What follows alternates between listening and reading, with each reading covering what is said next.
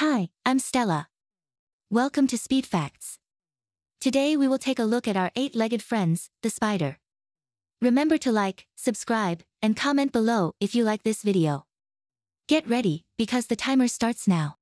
It was thought that all spiders were carnivorous, capturing and eating other insects, but one species in Central America has been found to be mostly vegetarian. Most spiders have eight eyes, but some, like the brown recluse spider, only have six. Even with all of those eyes, spiders cannot see far into the distance. A jumping spider can jump 50 times their own length. The daddy longlegs you see might not actually be a spider. The nickname daddy longlegs has been given to several different pests, only one of which is an actual spider.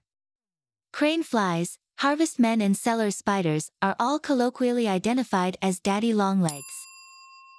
While commonly lumped together with insects, spiders are arachnids, not insects. Certain species of salticids or jumping spiders can see into spectrums we humans cannot, including UVA and UVB light. New World tarantulas are capable of flinging off tiny irritating hairs to deter potential predators, similar to a porcupine using its quills as a defense. While most spiders are solitary animals, there are some that form communities building large communal cobwebs. Colonies can number in the thousands of individuals, and they will work together to incapacitate prey trapped in their webs and share the harvest with each other. For its weight, spiderweb silk is actually stronger and tougher than steel. There are over 100 species of spiders that mimic ants by having evolved similar appearances and even similar pheromones. Most do it to evade predators, but a few do it to help them prey on ants. During the 16th and 17th centuries it was believed that a bite from a species of wolf spider, named tarantula, found in the Taranto region of Italy, would be fatal unless the victim engaged in frenzied dancing to a specific piece of music. It inspired a dance locally known as the tarantella. A cobweb is technically an abandoned spiderweb. All types of spiders have eight legs and spin silk. Spider silk comes out as a liquid but hardens when it comes into contact with the air. The tiniest spider is Patu marplesi, which is so small that 10 can fit on the end of a pencil. The biggest species of spider is the Goliath bird eater, which can be up to 11 inches wide.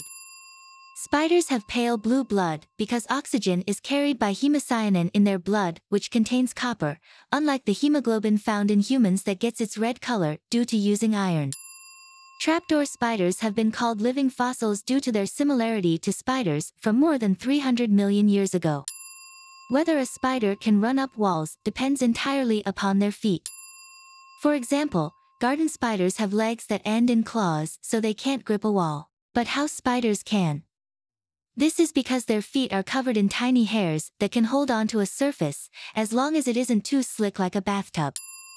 Spiders lack teeth so they can't chew food.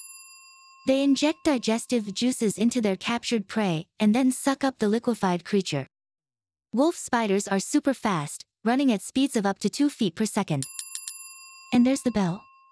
I really hope you enjoyed learning about spiders as much as I enjoyed finding all of these facts for you. Make sure you subscribe, and I will see you on the next video.